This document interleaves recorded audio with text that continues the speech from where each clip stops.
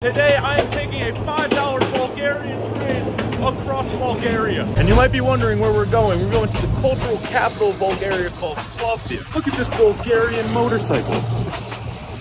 We could have took that instead of the train. And if I wanted a better view, I can even open the door to watch the train from the doorway. And you can see here what the Bulgarian train looks like. It's quite comfortable.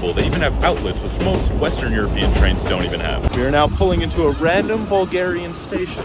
Maybe they're all going to Plovdiv as well. And it may not be OSHA certified, but for $5 for a six hour train, I'll take it.